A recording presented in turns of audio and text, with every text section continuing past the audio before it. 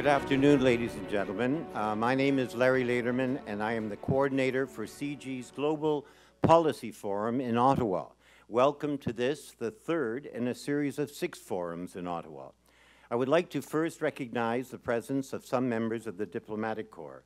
The High Commissioner of Jamaica, Her Excellency Janice Miller, the Ambassador of Serbia, His Excellency Mihailo Papazoglu, and the Ambassador of Algeria, His Excellency Hocine Meghar. We also welcome diplomatic representatives from the embassies of Russia, the United States, Venezuela, the Philippines, Turkey, the High Commissions of Pakistan, and South Africa. And we are also delighted to welcome the founder and chair of the Board of Directors of the Center for International Governance Innovation, Mr. Jim Balsillie, and the president of CIGI, Rohinton Medhora, and other members of the board of CIGI and its faculty. I would like uh, to now um, mention that we have amongst us some uh, former Deputy Minister of Development of Global Affairs and now uh, Special Advisor on Syrian Refugees, Mr. Malcolm Brown, the President of IDRC, Jean Lebel, and members of the Canadian government, including the Privy Council Office, Environment Canada, Department of Global Affairs, Immigration and Finance, the business community of Ottawa, the media, and students and faculty from Carleton University and the University of Ottawa. It's now my pleasure to introduce to you Dr. Rohinton Medhora, the president of CIGI. Larry, thank you, and uh, welcome. It's good to see uh, old friends and new at, and at CIGI's ongoing speaker series, the Global Policy Forum. Uh, Larry mentioned uh, that, that the CIGI uh, board and, and management is here, and that's because we have uh, our own board meeting here, here tomorrow, and so we thought we'd take this opportunity to have Ahmed Galal, who sits on the CIGI board, give a talk to us this evening. We've also taken the opportunity to change slightly the format that many of you, uh, you would be uh, usually used to. And so uh, I will uh, introduce to you Arif Lalani, another one of my bosses on the CIGI board, and then he will formally introduce Ahmed. And we've also asked uh, Scott Clark to act as a bridge and a respondent between the Q&A and, and Ahmed's uh, comments. Arif Lalani, many of you would know and needs no introduction to a group like this, but will still get a brief one. He has had a long and distinguished career in Canada's Foreign Service. He's a product of the University of British Columbia. He's led the Policy Bureau in the Department of Foreign Affairs. He served as ambassador to uh, Jordan, um, uh, Afghanistan, and is now currently our ambassador to the United Arab Emirates. He has also had postings in many other cities, including New York and Washington, D.C. Uh, he's the Government of Canada's representative on the CIGI board, and we're thrilled to have him because he brings with, with him uh, uh, experience with other think tanks. He is also on the advisory board of the Munk School of Global Affairs at the University of Toronto, the Ditchley Foundation in Canada, and, and elsewhere. And he recently got uh, a Doctor of Letters from the Canadian University in Dubai. So before I turn it over to uh, Arif to run the evening, let me also say a word about our respondent, Scott Clark. Uh, again, many of you would know him. He's a former Deputy Minister of Finance. He was Canada's ED to the International Monetary Fund in Washington, D.C., and the European Bank for Reconstruction and Development in London. Uh, and he has most recently been working with the government of Ukraine on a series of financial restructuring issues. So, uh, Arif, over to you. Thank you.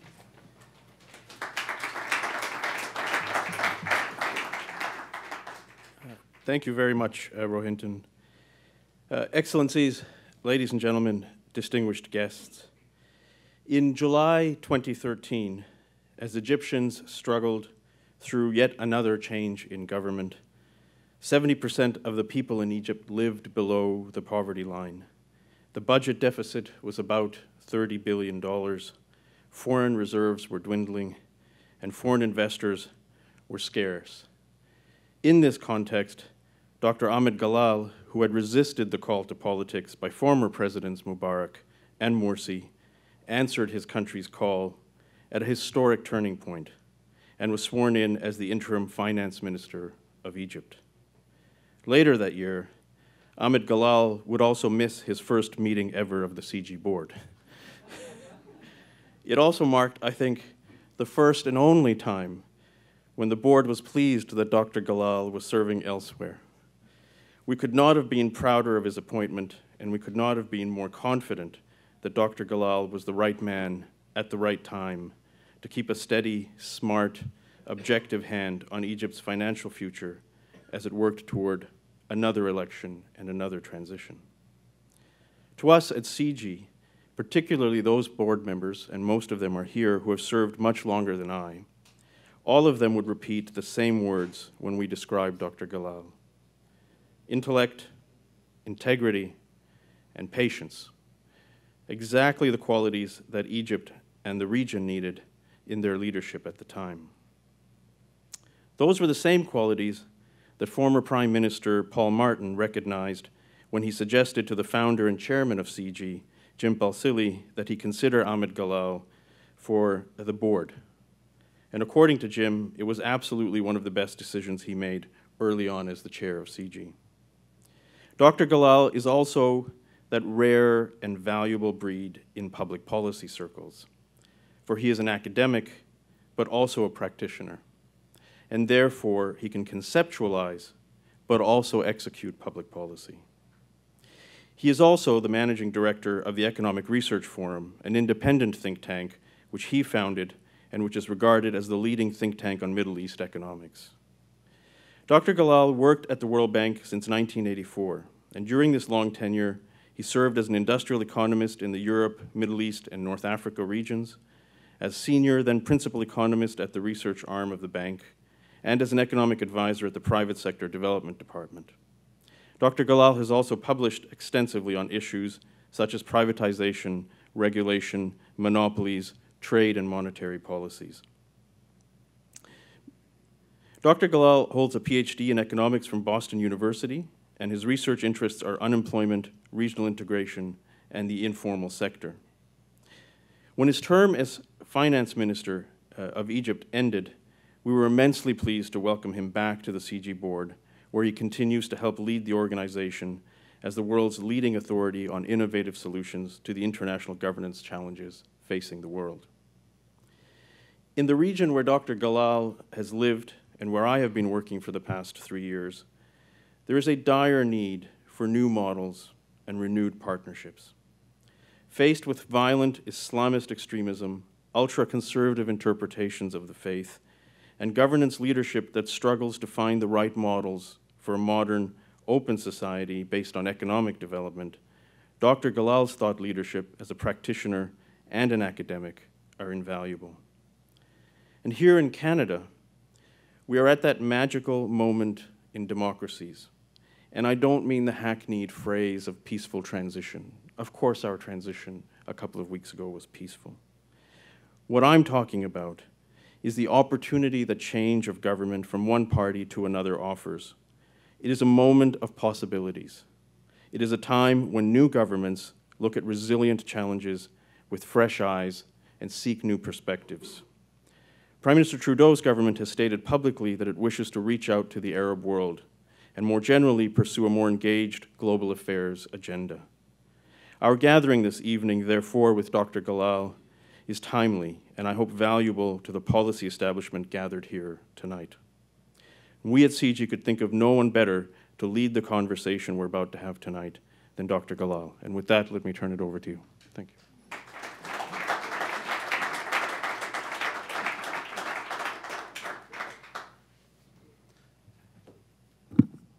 Thank you, Ari, very much indeed. Uh, that was the best introduction I've ever had so far. I think every time I'm invited anywhere, I'll ask them, please bring Arif. He's the only one who can introduce me better than I ever can do. Uh, thanks, Rohinton, for the invitation. Thanks to CIGI for uh, being here. And I feel like uh, I know Canada. I mean, through my association with IDRC and CIGI, it has been quite a while. I've been coming here at least for a decade uh, at least twice a year. I've had the privilege and opportunity to learn a lot more about the country. And the one thing that really stands out in my head that I can't let go uh, of is that Canada is a fantastic country, Now, thinking about it from outside, I'm not a Canadian. Um, it's a country that's not too big to be scary, and it's not too small to be insignificant. Canada is very well positioned to play a wonderful role on the international scene. And if you don't believe me, just think of CIGI, because CIGI is a symbol of that. It's a Canadian institution, but guess what? What it focuses on is international governance, improving international governance and innovation. So that, that it's always wonderful to be here. I always enjoy uh, meeting lots of friends and friendly faces in the audience that I'm familiar with. And I always learn a great deal, and I hope on my part that I contribute a little bit to uh, whatever uh, endeavor that I'm here for. Let me turn to today's subject and begin with a confession. In preparing for this talk, I decided to cheat a little bit. I decided to go and look at what other people have said about the Middle East in the context of the Global Policy Forum and in other events that were handled by uh, CIGI. And I admired a great deal the quality of what was being said. However, I didn't recognize the Middle East in what I have seen. Let me explain a little bit what I mean. This is all introductory. It's going to take me a little time to get there. In one case, somebody was making the broad point that the Middle East is immune to democracy. Why? Simply because they never have had a history of democracy. And what a silly argument. Think about Latin America 30 years ago. Think about Eastern Europe. Think about Asia. Think about Africa. And actually, they had no history of democracy. And they now, if you look around, hardly any of them is not. And as a matter of fact, the now well-established democracies were not one of these days. It's a bit in the distant past, but it's also true. So that's one story that I didn't buy. The other story that I didn't buy either was the one that says Islam and the values that the religion carries is just not compatible with democratization and development. That's just, now the details are a lot, but, but this is really the basic point that was being sold, and I don't buy that either. For one thing, we know some, some uh, very well-established democracies that do have Islam as a religion. I mean, you can think of Turkey, Indonesia, Malaysia, and in fact, you can even think of Kuwait. And you can think of the transition democratization process in Egypt and Tunisia, and to some degree, uh, Morocco and Jordan. Uh, more seriously, though, there is a, a, really two very good studies that don't talk about anecdotes and concrete countries.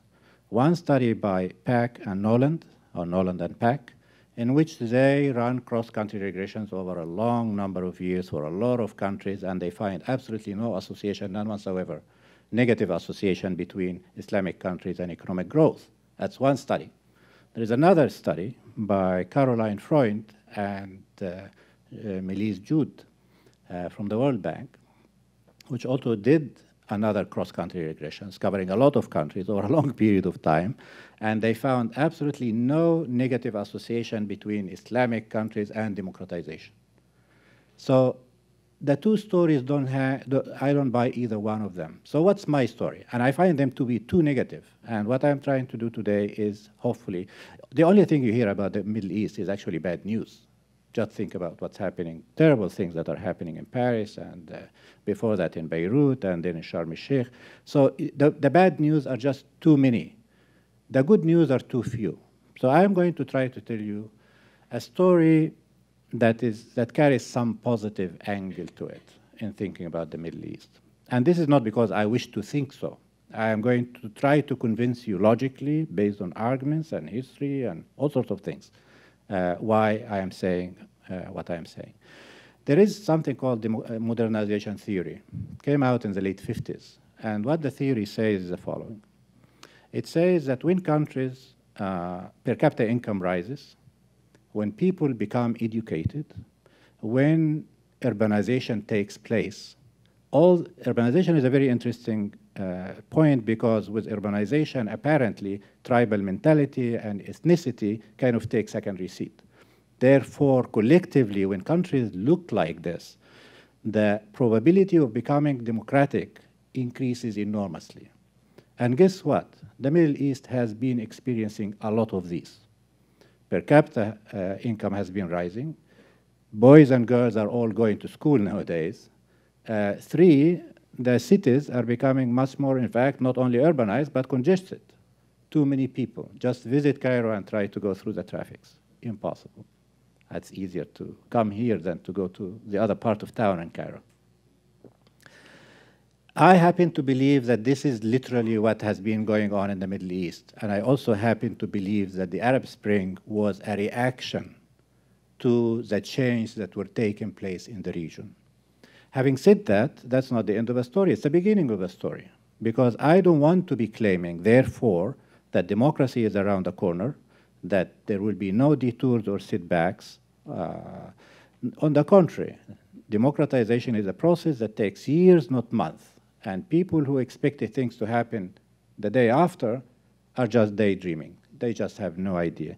On average, we know that transition has taken, uh, transition in Eastern European countries had, has taken on average about 12 years. It has been only about four years since the events have taken place in the Middle East. Give them time. Um, why am I talking about so much politics and democratization, and I am an economist by training. I really know a little bit about economics and hardly anything about politics. Well, it's just because I happen to also believe another theory. And the other theory is one that has been developed and advanced and put together nicely and neatly by two guys in, in uh, Harvard, MIT, uh, Daron Acemoglu and uh, Jim Robinson. And they have a fantastic book that I invite everyone to read. It's called Why Nations Fail. And they go through all the arguments. So um, essentially, in fact, Jim, when he was telling me about the book, I told him, why don't you do Why Nations Succeed? Why is it that you want to have? He said, our publisher insist, insisted that we have Why Nations Fail because it's more uh, attractive. In any case, the basic point in that book is the following. It's a very simple, it's a 600 pages, more or less, but the basic idea is very simple and straightforward. And it says the following. It's not uh, history that you are condemned to. It's not religion, religion that would rule your life. It's actually the political institutions.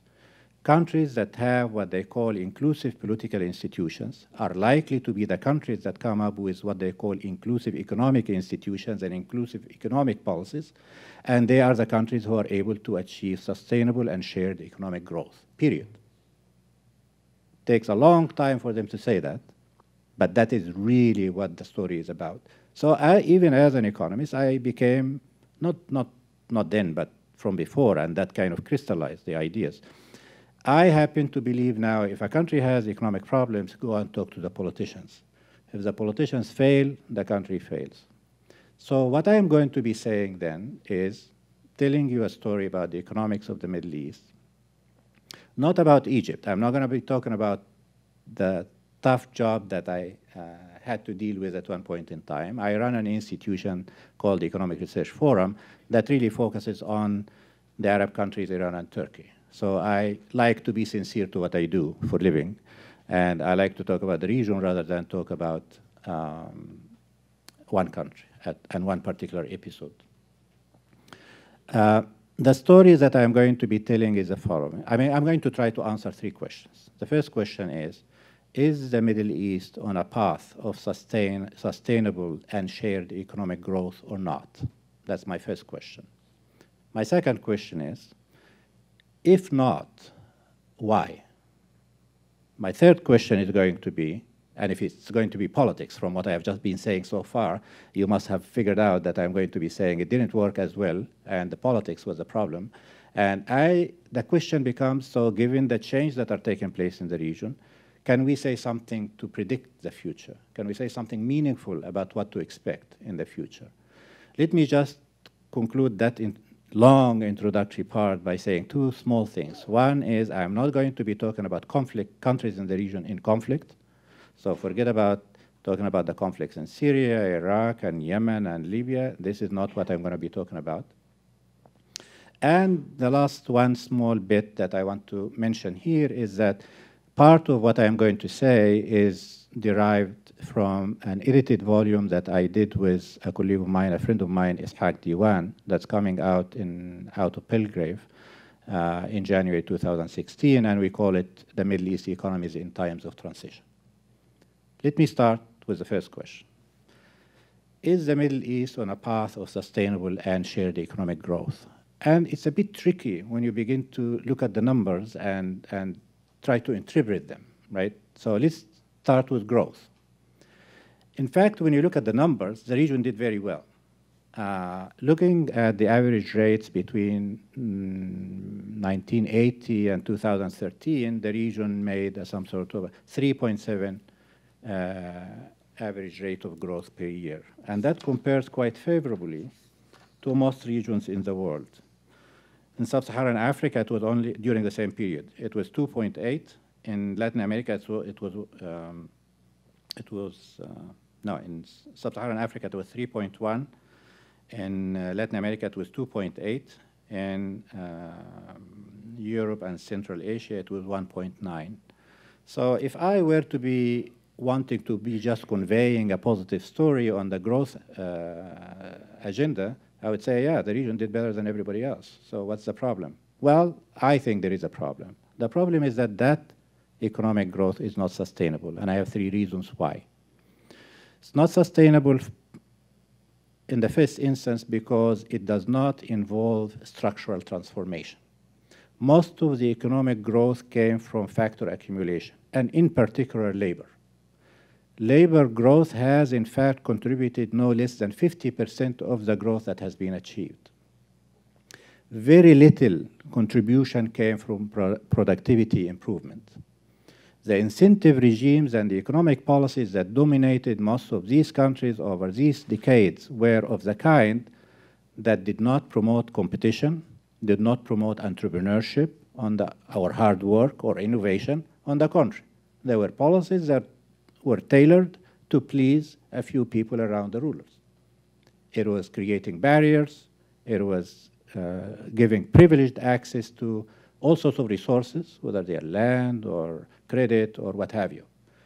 That is not a recipe for sustainable growth. Low productivity, those who are making it are not the guys who are working hard. That is not a sustainable growth. Let me give you another reason why that's not a sustainable growth.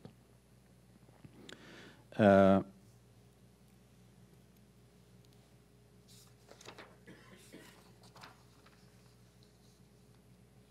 most of the growth did not come from exports.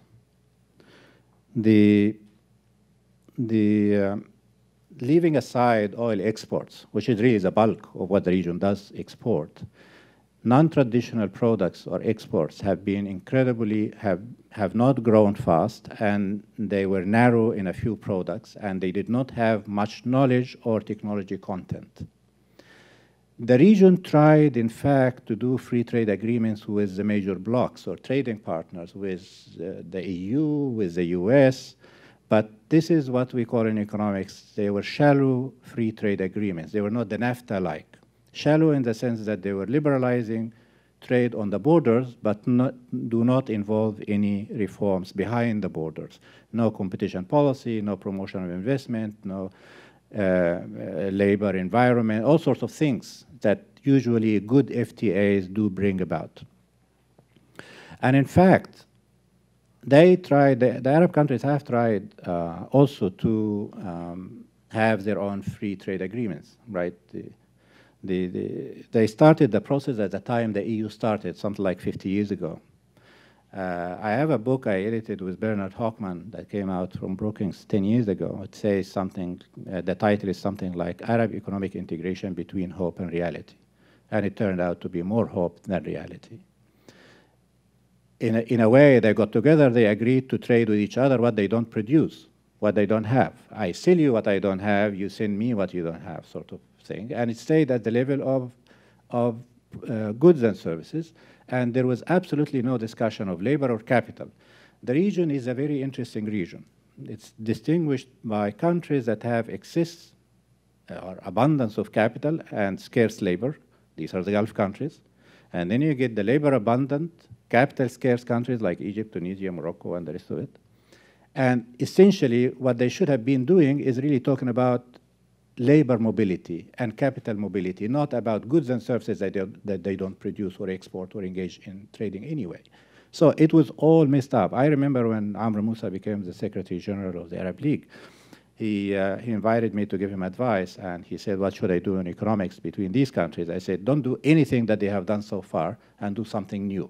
And I suggested focusing on labor and capital. Nothing much has happened. It takes a lot of other things. It takes political will, a willingness to surrender sovereignty to some degree. It takes something that's not there. That is why nothing much has happened so far. Let me give you one third reason why growth is not sustainable. I think I'm spending a bit too much time on one issue.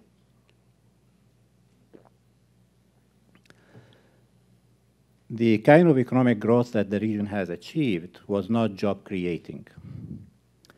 Uh, it was capital intensive. It was not, um, you know, the paradox is that um, it was hiring people in government rather than letting them in the private sector. Uh, the region has done really well on educating the population.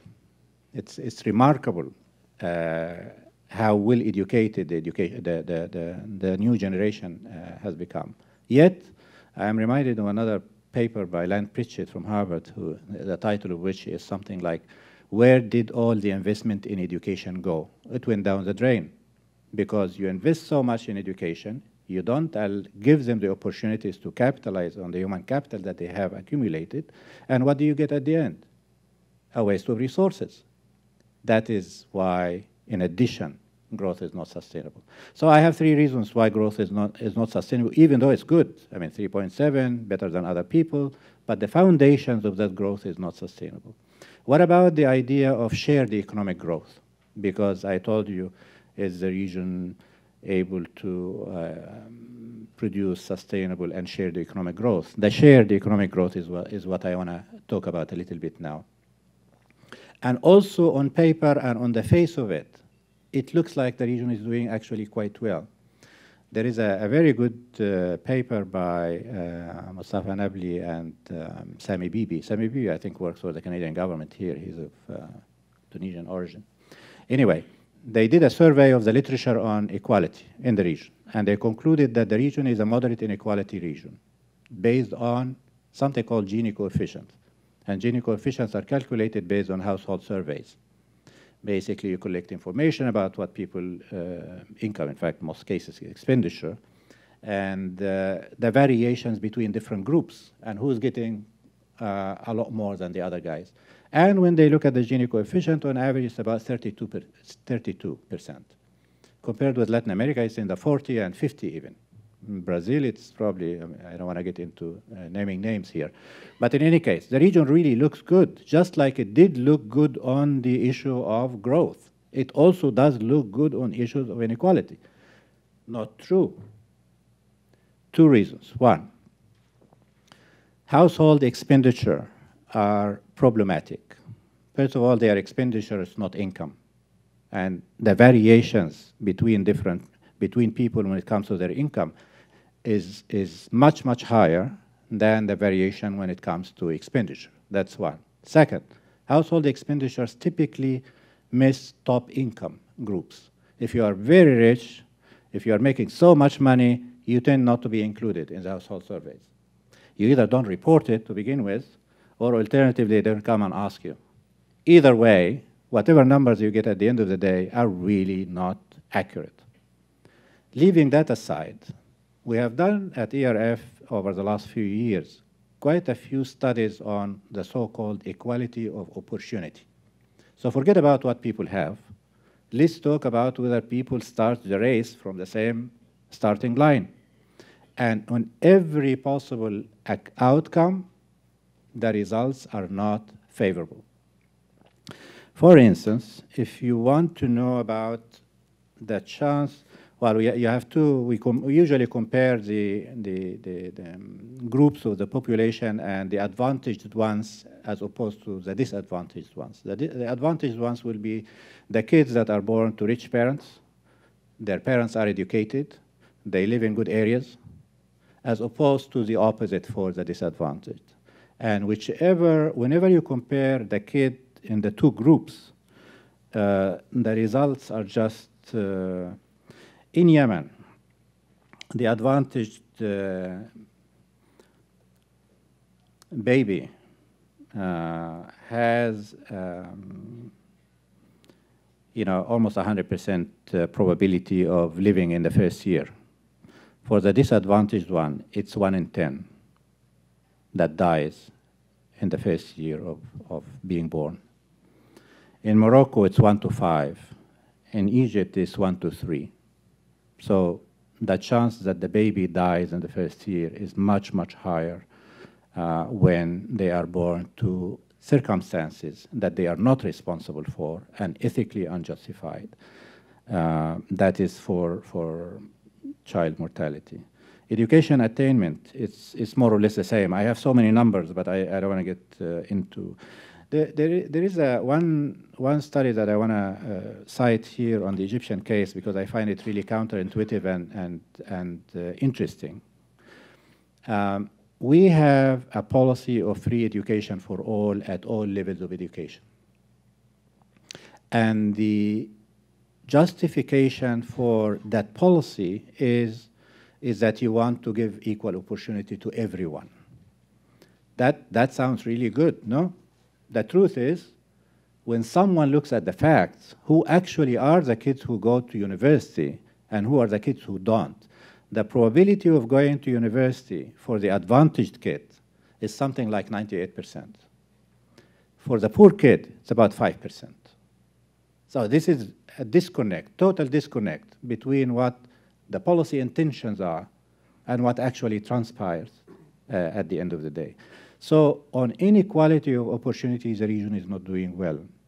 And then the last bit that I want to make here uh, in relation to questions of equity is that I said nothing about distribution of wealth.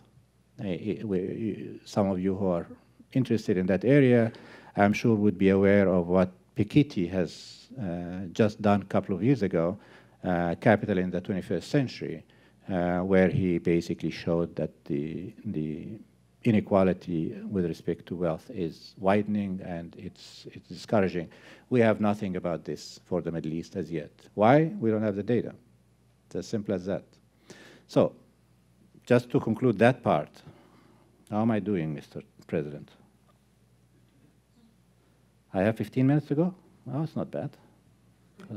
Because that, that's the part that I think was going to take some time. Um, the, so, so on both growth and the sustainability of growth, on equality and inequality, and whether it's true or not, the region doesn't looks like it's doing well, but it's not. Let me, I cannot really conclude that part without talking in particular about the oil-rich countries or the natural resource-rich countries, because the region has more than its, I mean, has an enormous uh, share of, of uh, natural resources. Uh, in fact, according to OPEC, the uh, the region has something like 66 of international proven oil reserves and 44% of international proven natural resource reserves. So you cannot really talk about the region without saying, so, saying something in particular about natural resource countries because they are not quite the same as the rest. And in that particular case, economists are funny people. They just find themselves, I am an economist, so I can say that. Uh, they find a little corner and they spend all their time on it. And what do they do when it comes to natural resources? They tell you about the Dutch disease, right? A Dutch disease is when you get a lot of foreign capital and your currency appreciates, and that discriminates against tradables in favor of non-tradables. And basically, you don't export, you don't diversify, so you, you, got, you got a bad disease. That's, that's basically the story. Or alternatively, they focus on oil price volatility and economic growth volatility. And in fact, they find evidence because oil prices do fluctuate quite a bit, economic growth does fluctuate quite a bit, and on average, as a matter of fact, oil-rich countries grow slower because of that volatility than the non-gifted uh, countries. So that is one part, and the region has its share of that. But that is probably the least damaging effect, in my view the other damaging, more serious uh, damaging effect is the impact of natural resources on governance. Uh, we all know that no representation without taxation. When governments have a lot of money, they don't necessarily have to democratize. They don't have to open up. Uh, I can afford giving economic handouts, and I don't have to give you something else.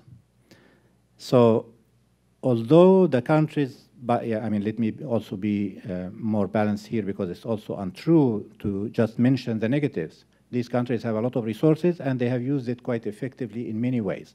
They have done a lot of infrastructure, they have educated their people, uh, they have created some industries, so they have used the resources to make some progress because these countries, without the oil, without the natural resource, would have been very different countries.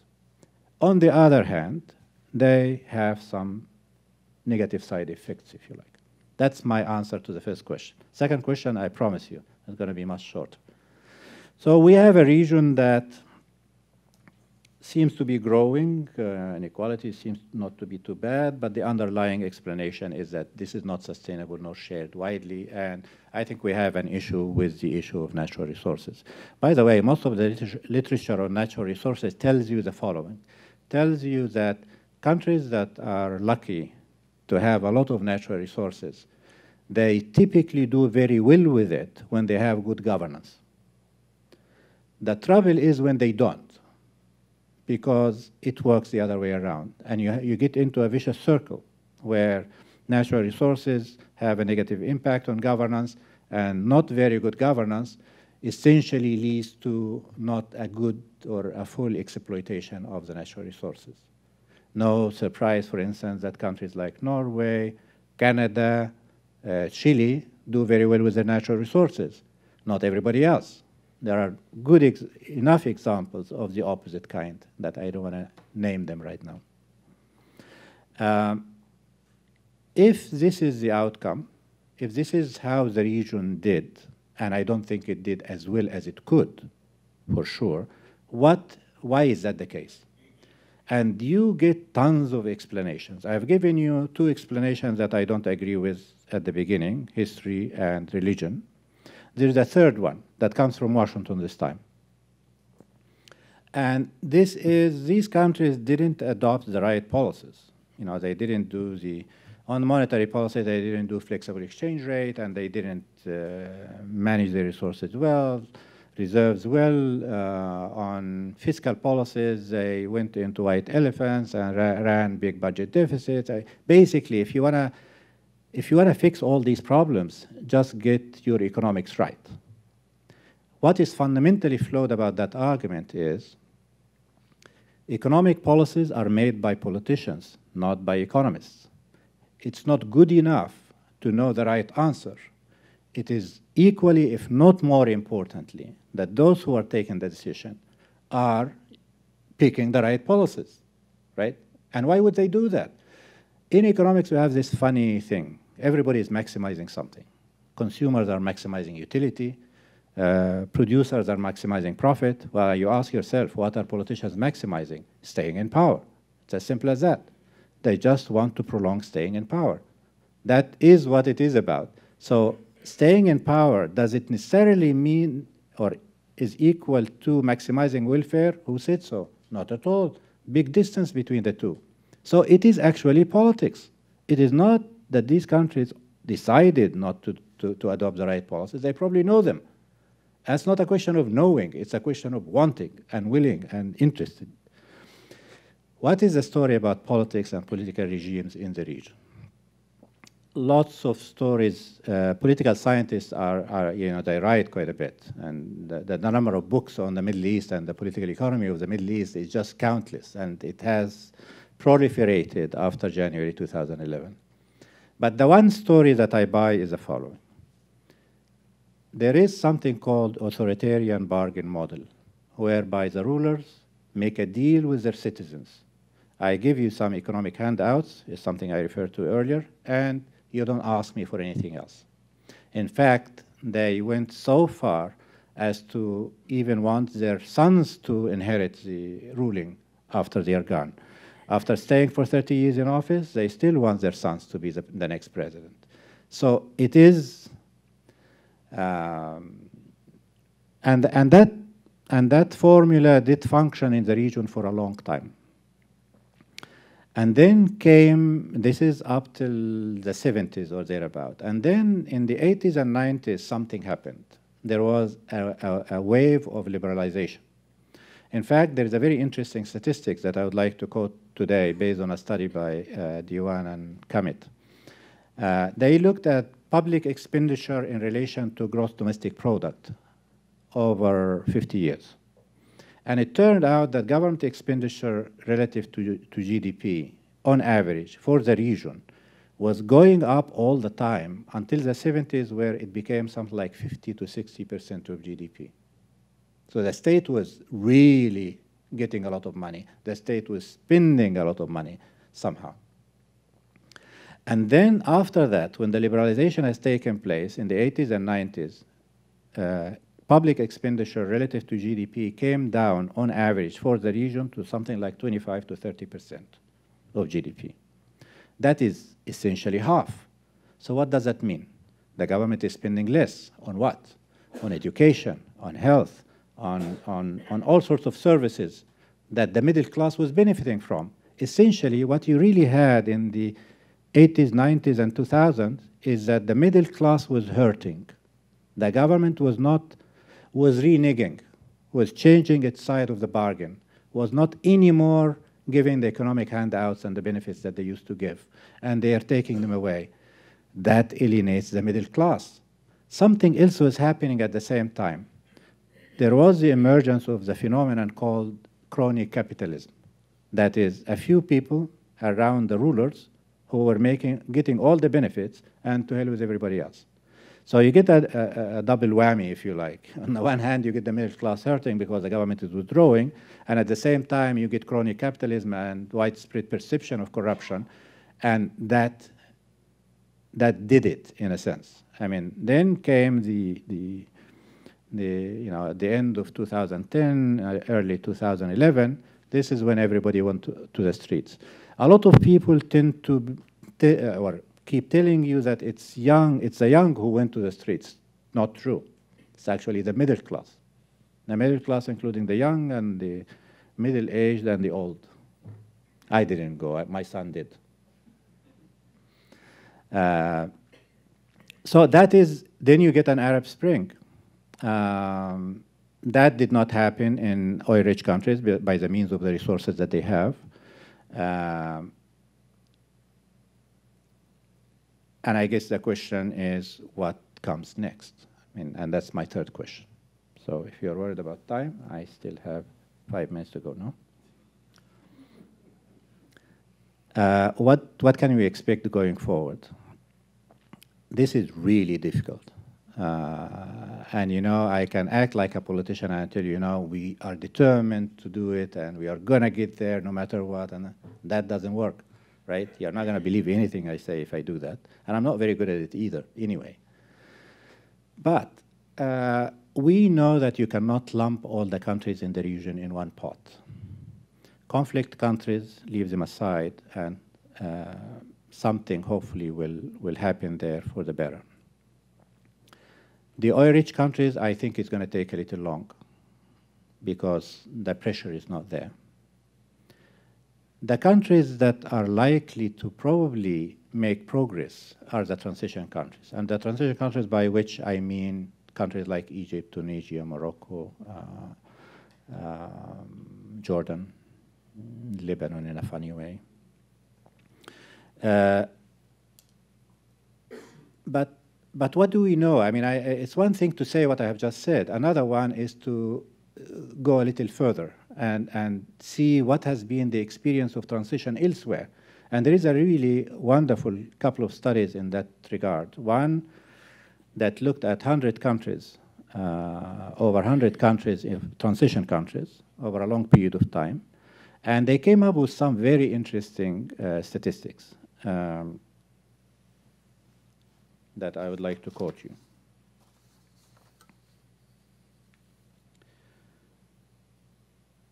38% of the 100 countries and above uh, and more made uh, the transition, completed the transition to democratization in a relatively short period of time. 29% of transition cases failed. 10% moved gradually forward, and 22% went in reverse from democracy to autocracy. There are no guarantees in life.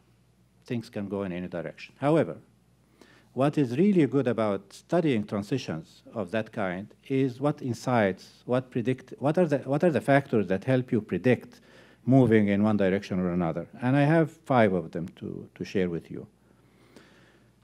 Uh, the first one is countries that make the transition tend to have an elite that is willing to make compromise. And I would bet you anything, this is what has, has happened both in Egypt and Tunisia compared with what has not happened in Syria. In the Egyptian and Tunisian case, the army and the police took the side of the population, the, the rebellions. You made the initial transition. In the Syrian case, there was a division, and that's why you get the chaos that you have. So elite unity is really turned out in looking at a lot of experiences of transitions, turned out to make a big difference. So that is one. Uh, the other one insight is the one that has to do with sharp breaks. Transitions, when you have a new regime that is totally different from what was before, without the foundations, without building the infrastructure, without connecting with everybody in town, sort of thing, they are likely to fail. And in the Egyptian case, that's what happened with the Muslim Brotherhood. They came to power suddenly. They had no uh, link with the rest of the institutions and the populations. They wanted to do everything in no time, their way for, them, for themselves, and it just didn't work. People went to the street again. And for those who, for those who say that this was a, a coup, I mean, they need to remember that the army took the side of the people on the street in January 2011, and they took the side of the people on the street in July 2013. So they are two equivalent episodes. But the point that I want to convey here is the idea of countries that make the transition to democracy uh, bring regimes that are not totally disconnected with, with previous uh, regimes. Let me give you a third insight. Countries that have uh, bureaucratic capacity and the rule of law they tend to be countries that are able to make that, the transition compared with countries that don't. And the best example to illustrate that is Libya. Because what has happened in the Libyan case is that the, the, the, the country really didn't have the institutions, didn't have neither the state capacity nor the rule of law. The institutions were not there. It was the leader and everybody else, the general and all soldiers, no, nothing in between. So it, it disintegrated. It didn't, it didn't work. I have one interesting one about two, two interesting ones, subtle really. They are not really that straightforward. The one about what happens in countries with different ethnic groups. Is that something that help democracy or the other way around? Apparently, the story is that if the ethnic groups don't get into a conflict and a fight, in fact, countries that have different ethnic groups are better qualified to make the democratization. Why? Because in a democratic system, everybody has to concede something to the, to the rest. So what looks like it's a conflict, it's, uh, you know, you have e multiple ethnic groups, it's bad news. Well, it turned out that in some cases, it was a, a blessing in disguise. So that is, that's one insight that you would not think about it in, in without getting closer. The last one also uh, is, is that kind of subtle. Uh, autocratic regimes that have a lot of resources are not likely to make the democratization. However, when they do decide to make it, in fact, they are more likely to succeed than the other cases. So the concept of a benevolent dictatorship, the concept of someone with the resources, they decide they want to make the move, it turned out historically in a lot of experiences that that helps with the democratization process. I am done with my three questions. Let me just conclude. What I have told you so far, I hope it was positive. I meant it to be positive. I told you the region is not doing, looks like it's doing well, but it's not really doing as well as one would like to think. I told you that the politics was not good for a long period of time, and it began to improve, and there is a chance, there is a real opportunity for things to move in the right direction. And I gave you some insights that at least suggest that some countries in the region are probably better positioned to take off. What I really hope uh, at the end of the day is that a few, well, a decade later or something, we'll think back and say, January 2011 was a critical juncture where countries like Egypt and Tunisia, Morocco, Jordan took the right road and they made progress. I'm sorry it took me too long, but thank you for your for listening to me.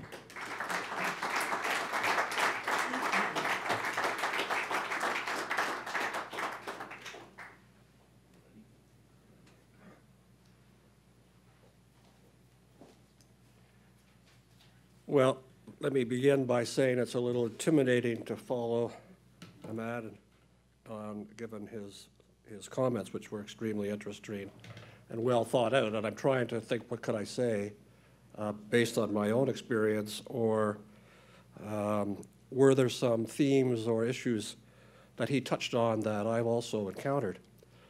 And I also am an economist, and indeed, when I think about that, I've been either learning or teaching or practicing for 50 years, and yet I'm still learning, and I've spent some time now in the Ukraine, and, and before that, I spent five years really uh, learning more economics in Eastern Europe with the transition from former Soviet economies to uh, market-based economies is what we would call them in those days. And so there, the word transition um, came up in, in Ahmed's comments, and institutional reform and governance um, as being key issues in terms of economic growth. So if you're a policy advisor in Canada or in an advanced or G7 country, you know, you don't encounter a lot of the, or most of the major problems that these countries face. So we live a, a pretty sheltered life as policy advisors here, and we have a new government today, and they walk in and you got a nice public service, everything's good, you know, you change your policies, you get your briefing books, and everybody's happy. And um, last December, I was called by our ambassador in the Ukraine, could I come over uh, and help the new Minister of Finance? She'd just been made cabinet minister and didn't have a, any idea of what to do. She'd never been in the public service, didn't know, you know, she was committed, and there had been an armed revolution, people had died, and she needed some help. So could I, it was Sunday, and could I leave Tuesday and be there Wednesday? And I said, well, what, what would I possibly be doing? And, and he said, well, just, you got to give her some help uh, because it's important that this government succeed in putting the conditions in place for reforms and economic growth. This is their last chance. It's been a decade of failure. And if this government doesn't succeed, there's going to be a civil war. Uh, so I thought, well, I should probably stay in Canada. I don't think I can really help her very much. But I did go over there thinking, okay, I'll do my best. And I met with the minister, and we had a talk for about an hour or so. And I still, afterwards, couldn't figure out what exactly I should do, except I had decided that the advice she really needs was how to organize her office. Forget, uh, you know, giving uh, advice on the IMF who were there and they needed a new program, forget advice on tax reform, all the things that I had some experience in. My experience the next two weeks was actually saying, uh, oh, here's what we're going to do. We're going to get rid of everybody in your office, and we're going to give you a secretary, and we're going to give you a chief of staff, and we're going to give you a communications person. And uh, she told me I don't trust any of my deputy ministers, and I said, well, that's fair because there was so much corruption uh, in the Ukrainian system because it's a former, it still was a Soviet system, which was based on essentially corruption. Um, so I said, well, we'll just have to work around them. We'll have to get some special advisors in for you, like from the IMF or the EBRD or wherever we could get uh, some people to come and help you. And but right now, uh, you know, you, you're not able to function as a minister to make decisions because you have no one around you that you can trust and you have no one around you who can answer the phone for you, You don't even have a scheduler, right? So, you know, you, you need to first get people in your office that you can trust. That took me two weeks. Um, in the meantime, she had to worry by the fact that she had a budget to do, she had the IMF there, uh, she couldn't trust anybody. You know, you know, when I say that there's corruption, you have to understand in a country like that that a deputy minister gets paid $100 a month. All right, so you go figure. When you're in the meeting with these people, you look, that's a very nice suit this person's wearing, he's driving a nice car. How do you does, how does he do that on $100 a month? Well, it's corruption. Every government agency is corrupt, from the ministers down, okay? So you have a new government that came in with a commitment to reform, and what she would say to me is, it's not the war in the East, which is bad enough. It's, it's, it's the five oligarch armies that run this country, right? So you have oligarchs who own communications, own gas and oil, own mining, and whatever else. So the country's divided up in basically fiefdoms, and all of them have armies with tanks and artillery and mercenaries and everybody else. And it's actually those armies that were doing a lot of the fighting, but they could overthrow the government at any time. And yet civil society was saying to the government, we just went through a terrible revolution. We want reform. We want you to break up all those oligarchs and change the structure of government. And then you had the IMF coming in there and saying, if you want our money, you have to reform. You have to stop the corruption. So it's a rather daunting uh, exercise to go to a country like that and say, uh, before we lend you money, before we make any commitment to you, you've got to take on these huge tasks. And yet you have the economy right now sinking, right? And Ahmed was talking about bad news, good news. There's no good news there. It's all bad news, right? And it's going to be a long time before there is any good news. So that's the type of reform. So if you ask yourself in those countries, and Ukraine is not unimportant. I mean, when you're in the Ukraine, they sort of look, we have to struggle to get $15 billion to finance us from the EU and the IMF. And yet, look at what's going into Greece. And yet we're, we're sitting here between Europe and the East, right? And we can't get anyone to come and help us. So that's the kind of reform that's going on there. A, it's to use your terminology, uh, it's, it's difficult, the system is not sustainable, and it's on the virtue of probably a civil war. But looking back earlier, again on transition, the one thing I've learned uh, by being in Eastern Europe is that as an economist, you tend to think of giving policy advice in a broad macroeconomic sense. And what I've learned is that economic reforms, as we as economists tend to give them, are quite irrelevant without institutional building. If you don't have rule of law, if you don't have a land registry, uh, if you don't have honest judiciary, honest police, honest tax collectors, you can forget about economic growth, right? All that stuff that we, we were taught or what we can do here, it's not going to work.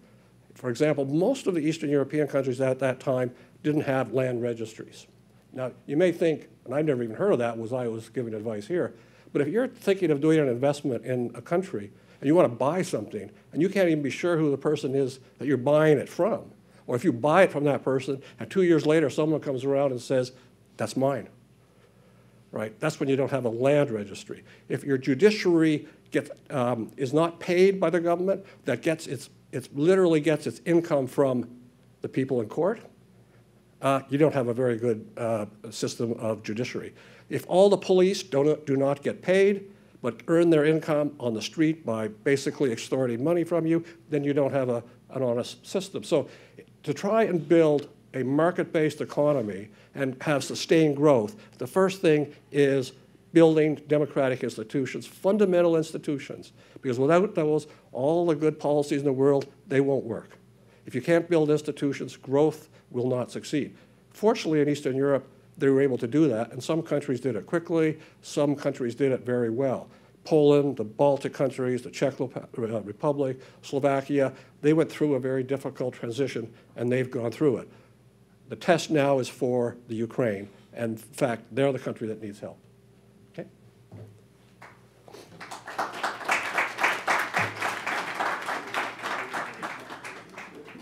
Thank you very much, Scott, and thank you very much, Dr. Galal. I might ask Dr. Galal to come up, uh, and we have a few minutes for a Q&A. So why don't you come up to the mic, and, um, and I'll, I'll just moderate for you. So I'm going to just go from the front to the back, so the gentleman here. There are microphones, so if you could just stand and tell us, uh, if you're affiliated with an institution, please tell us, and, and then we can have your question.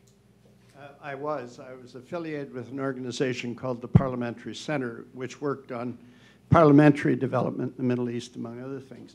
Uh, the question I want to ask is about the role of the international community in encouraging the transition, especially in, in governance. Uh, you accepted the countries in conflict and the countries with the uh, natural resources and so on. Those are the countries that tend to attract most of the international attention. The countries in transition, where the hope lies, don't attract a great deal of attention.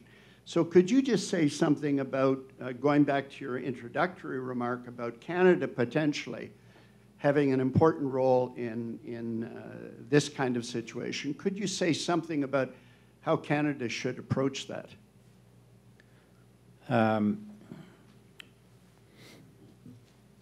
yeah, I, I, remember having uh, a dinner and uh, Secretary Hillary Clinton was then the Secretary of State uh, in, in the US. Anyway, uh, that was right after the January uh, revolution in, in Cairo. And I remember making the following point to her. Uh, Madam Secretary, you need to remember that you were surprised by what happened in Cairo. Uh, two, this is totally an endogenous process. This, this is really the outcome of a few Egyptians being unhappy with a few other Egyptians. And thirdly, the outcome is going to be what this group of Egyptians are going to do to the other groups of Egyptians. It, uh, political transitions fundamentally are local affairs. Different interest groups fending for their interests, colluding with other people. Now, the most outsiders can do, at least, is to is, well, do no harm to begin with. I mean, I, I think I think the, the, the, worst part of the story is that outsiders often enough, rather than make things better, they make things worse. So that is the first suggestion I would make. But the second one is be on the right, the right side of history and try to understand the nature of what's happening. I remember in the Egyptian case in particular, there was this uh, idea that the ballot box is everything you violate that, you violated everything. That's just not true.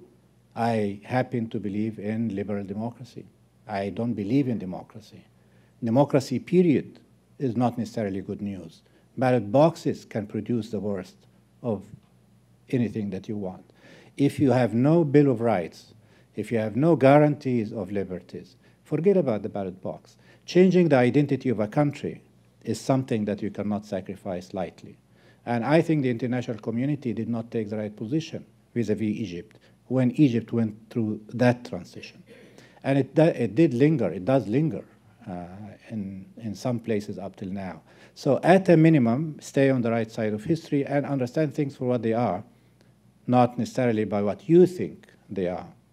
And then third of all, of course, if you can uh, provide support, I don't think institutions can be exported. I don't think you can actually take an arrangement that works in one setup in Canada or in the US or elsewhere and implant them in Togo or some, somewhere else and think that they are going to function the same way. Uh, it just doesn't work that way. So I think be supportive of, be on the right side of history, the side of people. Uh, um, well, first one, do no harm. I keep repeating it because, in fact, I think my region has had more than its share of more harm was done to the region than, than, than help. So, so it is a very serious one. Uh, so if you can do good, don't do harm. I mean, you can always be supportive on the economic front, uh, on, on, on sticking to the right of people for self-determination or what have you. I mean, I, there are the, in the diplomatic area, in the economic area, in the uh, the, there are lots of things that can be done. I don't, I don't think, I don't think outsiders can establish democracies anywhere. Please, yes. And I think maybe we'll take uh, why don't we take one or two together? and then and Yeah, sure, track of the sure. themes for you. So if you have a question, please come up behind the, the, uh, the person asking now, and we'll take a few together. Good evening. While uh, listening carefully to the presentation, which was uh, very captivating, I had to rack my brains and to be too up to the mark to understand. And uh, a lot of ideas floated in my uh, intelligence. I'm asking the question, is the vision of the economist is compatible with the political vision of the many Arab words that we have at hand who are in difficult time. At the same time, it's a matter of a vision. Which kind of vision do we have? Is it a homegrown vision applicable to each and every Arab countries, or it is a foreign vision? And is it necessary to mix both of them to have a, a better vision of the Arab world, its problems, and how to resolve its many problems. When it comes to transition, what do we mean by transition? Which kind of transition do we expect? Is it a transition for education? Is it a transition for economic development? Is it a transition for democracy, accountability, good governance? Or is it a transition for stability?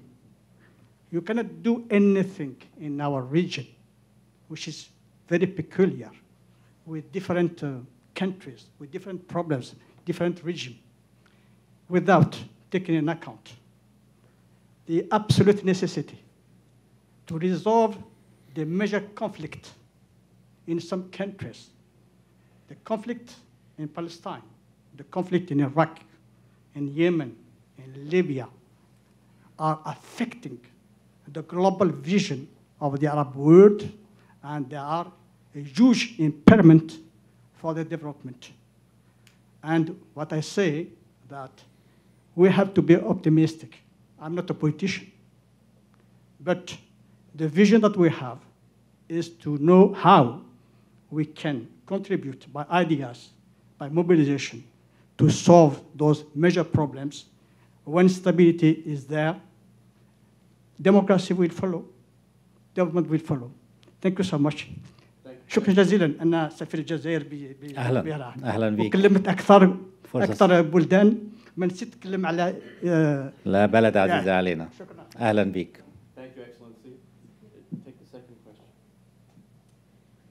I'm Susan Schadler, a senior fellow at CIGI. Um, previously, before I was a senior fellow, I was an IMF staff member. And I worked a lot on the transition in Eastern Europe, not at all on the Middle East. So I can speak rather authoritatively on the transition in Eastern Europe, not at all in the Middle East. But looking at, and, and I also more recently have been looking a lot at Ukraine. Looking at the IMF and what it's doing in Ukraine, I, I don't want to defend the IMF, and I certainly don't think they're perfect, but they are definitely trying to change the institutions. And if you look at this very large study that was done in the legal department of the IMF on all sorts of legal changes, basically what they're trying to do is create a legal order that is favorable to growth.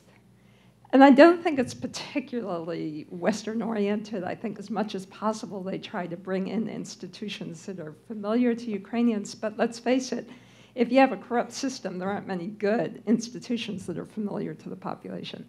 So, so I think it's a little bit wrong to say the IMF went into Ukraine and just said, cut the budget deficit and float your exchange rate. It- They, they really have fundamentally tried to do more, although I don't think particularly successfully. So, what is it about Central and Eastern Europe that really distinguishes them? I look, in my experience, at two particular things. First of all, there were personalities that were big. Leszek Balcerowicz was, in some senses, the father of this miracle that occurred in Poland. And in the Czech Republic, you have Havel and Václav Klaus, who were also just big personalities that kind of carried the day. So it's, it's hard to say, oh, well, you just have to wait for the right personality to come along. But frankly, in the countries that have succeeded in a huge way and quickly, it's typically personalities. And I think the good thing about Ukraine is that they do have a truly spectacular finance minister. If anyone's ever going to bring that place right, it's probably going to be her. But second, um, and this is where the not importing systems from other countries um, raises some questions for me, because certainly what motivated the Poles and many of the other Central and Eastern European countries through some of the worst times, and they were bad at the beginning, was that they had the promise of getting into the EU. I mean, at the beginning, it was a little mm. bit um, implicit rather than explicit, but it very quickly became explicit. And basically, they were told if you take the EU system, lock, stock, and barrel, put it in place, legal system, bureaucratic systems, open trade, uh, pricing systems, if you just take the European system and you put in place the acquis communautaire, you're in. And th- that was hugely motivating for them. And I fear one of the problems in a place like Ukraine is they don't have the thing at the end of this big struggle that says to them, look, you're going to be part of a club that you're going to love. So I think there are a lot of um, things about importing systems that cut two ways. Thank you. answer those two. Oh, okay. I, I think one is about vision, you know, what vision do you want? But the yeah. second one, if I could just paraphrase also to connect it to Scott. Yeah, I, uh, are there models for Yeah, with our friends from from Algeria, I'm sorry I didn't mention Algeria. Algeria is a country that we care about, we like. And I think Algeria deserves to uh, do better than what it has been possible so far. I think it has enormous potential. Now, I think the word vision and compatibility of economists and politicians understand that everybody, all countries want, I mean, you and I want to live happily ever after, right? I mean, we want to have our freedom and we want to be well off.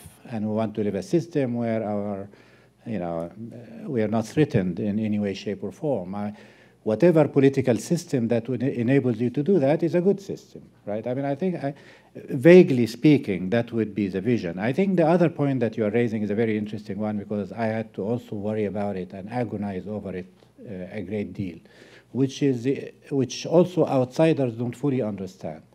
It is the issue of liberties on the one hand and security and stability on the other hand this is something, I mean, I, I, I, found myself in one over dinner uh, with some friends, uh, telling them, they were telling me, you know, in the Egyptian case, but you see, there was that NGO that did not, uh, and I was basically, I found myself telling them, you know, Egypt is not Switzerland.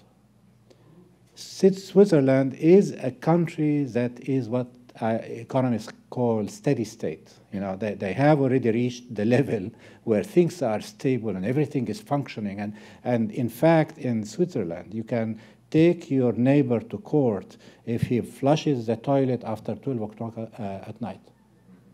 I'm sorry, I get the guy banging on my top of my head and the car almost running me on the street. I, I mean, what is this? I mean, what are you talking about? So, so when you do have when you are not safe and stable and your life is in decent shape, well, the rest is, is, so issues of stability are really important. And sometimes when security is, is look at the US and what has happened after September 11. They have the homeland security. Uh, the, the, the, the liberties were not as guaranteed as they used to be at an earlier stage. So when you are threatened Sometimes temporarily, one would hope, you will take certain exceptional measures. But the normal state of affair is that you are not supposed to be doing anything that threatens individual rights. Uh, so, so I would accept the compromise temporarily uh, uh, with the full understanding that this is really necessary for the time being.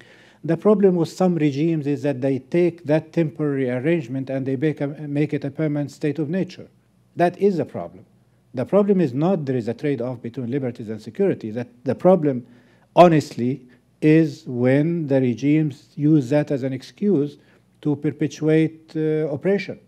That is a problem. And I think it is our responsibility, it's not anybody else's responsibility. Now, where I think the outside world is responsible is really in conflict countries. I think without I, I, promised myself not to get into that uh, today, but but in the Middle East, we think that many of the problems of the Middle East are made outside.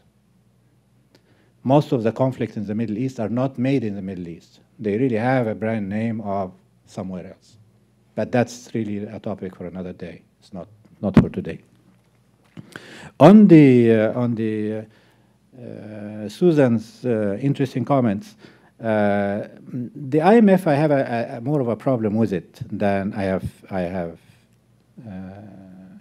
than you indicated, you know, the, or, or even uh, Scott uh, mentioned, you know, that the country is fragmented. The, the problems are structural, it's oligarchy, it's uh, all sorts of things. And then they go and tell them, reduce your budget deficit.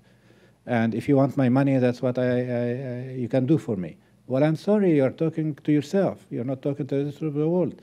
When I joined the government in July 2013, the only economic reform agenda that was in town between uh, January 2011, June 2013, was an IMF reform agenda.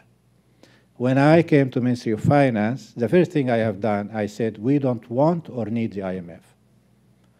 Why? Because I believe that the diagnosis of the IMF of the problems that Egypt was going through at the time was focusing on one part of, of the problem. It was basically macroeconomic imbalances, budget deficit and balance of payment deficit.